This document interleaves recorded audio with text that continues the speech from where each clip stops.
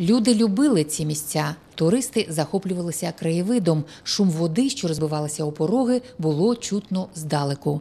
Кожна скеля, яка підіймалася з Дніпра, кожен камінь мав свою назву. А місцеві хлопці сучасні, от рік тому стрибали зі скелі в воду. Ми розговорилися, і вони розказали, що оце називається там, припустимо, оце скеля пуп, оце камінь там козел. Вчений, біолог та географ Вадим Манюк займається питанням відродження порогів із 1995 року. Каже, у всі часи влада ставилася до цих проєктів без ентузіазму. Проте серед науковців-дослідників та музейників вчений має однодумців.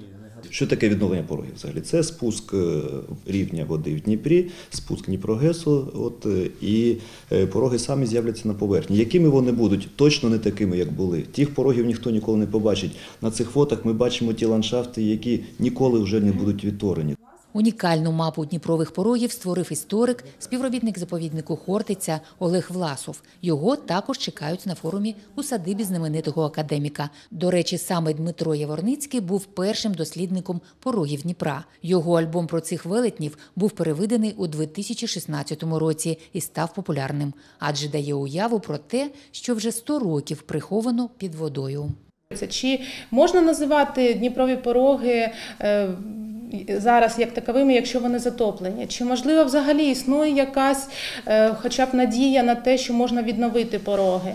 Е, Чи займаються люди от, перспективою? У перспективі мрійники бачать створення ландшафтного парку навколо дніпровських порогів. Ці місця просто повинні стати туристичною меккою. До того ж, річка оновиться, та її вода, врешті-решт, буде чистою. Е, Погляд однозначно оптимістичний. Е, Розумієте, у нас от немає іншого шляху просто. Просто як швидко ми цього досягнемо, з якими втратами. А те, що пороги будуть заповідані, те, що буде е, відновлено режим гідрологічний, хоча б частково на Дніпрі, це обов'язково станеться. Про всесвітню тенденцію звільнення річок, про прекрасні перспективи для міста та навколишніх сіл розповідатимуть гості форуму Дніпрові пороги. Окрім виставки відомих світлин, учасники анонсують демонстрацію матеріалів, яких ще ніхто не бачив. Дуже цікаві, унікальні навіть зйомки, які зроблені підводні в місцях е, затоплених Дніпрових порогів.